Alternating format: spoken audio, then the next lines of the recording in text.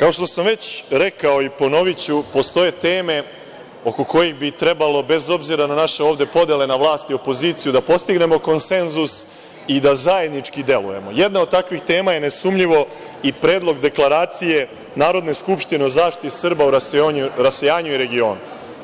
Ja želim da vas podsetim da je jedna od prvih odluka kada je na vlast došla Srpska napredna stranka bila da se rasformira Ministarstvo za Srbe u regionu i dijaspori. Nakon toga je formirana Kancelarija za Srbe u regionu i dijaspori, pa je i ona ukinuta Vlade Republike Srbije, da bi danas postojala uprava pri Ministarstvu spoljnih poslova za Srbe u regionu i rasejanju, koja inače ne radi ništa, koja ne može da izabere direktora već tri godine i koja zapravo ne vrši svoju osnovnu funkciju. Zato mi predlažemo da Narodna skupština Republike Srbije da jednu novu dinamiku odnosima sa Srbima u regionu i rasejanju i da praktično učestvuje u kreiranju odnosa države Srbije prema svim državama bivšim koje su proistekle iz bivših jugoslovenskih republika, koje imaju katastrofalan odnos prema Srbima, srpskim nacionalnim zajednicama i srpskim nacionalnim manjinama koje u njima žive.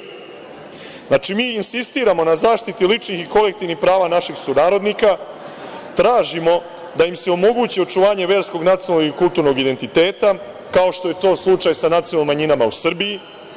Tražimo takođe da se svetska javnost upozna sa genocidom koji je izvršen nad Srbima u 20. veku. Tražimo naše kulturne i prosvetne integracije na Balkanu.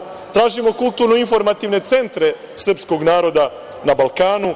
Tražimo takođe da se pomogne svim izbeglim, prognanim, raseljenim, da se reše problemi državljanstva, biračkog prava, restitucije, otvaranja arhiva i tajnih dosijea i svega onoga što je od značaja za srpski narod. Tražimo takođe da država Srbija kroz jedan poseban fond ulaže u region i u rasejanje, da pomogne i podrži povratak i uključenje Srba iz rasejanja u život matice i da stvori uslove da oni ovde investiraju i da imaju makar onakav tretman kakav imaju strani investitori u Srbiji.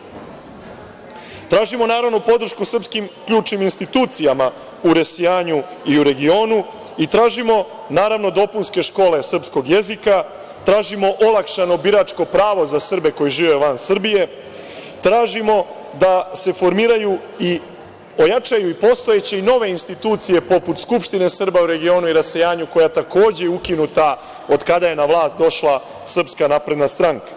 Jednom rečju, tražimo da se ozbiljno bavimo ulogom matice svih Srba koji žive van Srbije, a očito je da je Srpska napredna stranka zanemarila tu ulogu i taj zadatak i da u tom smislu se ne može nazvati državotvornom strankom, već očito strankom koja brine isključivo o ličnim i stranačkim interesima, a ne o Srbima u regionu.